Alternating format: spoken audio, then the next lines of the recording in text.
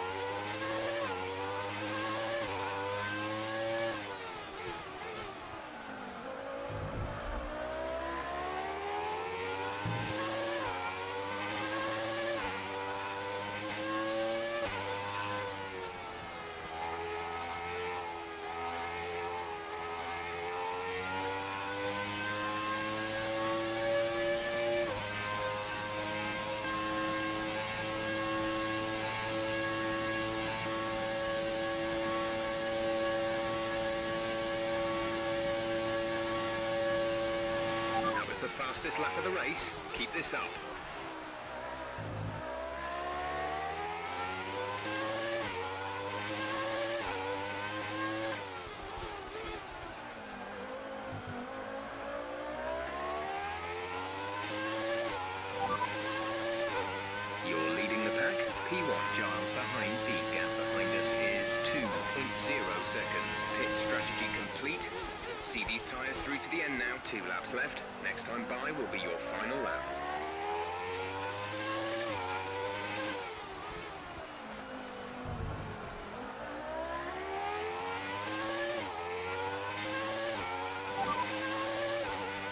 Predict this heavy rain to ease up in around 15 minutes time. Full wets seem to be the fastest tyre for now.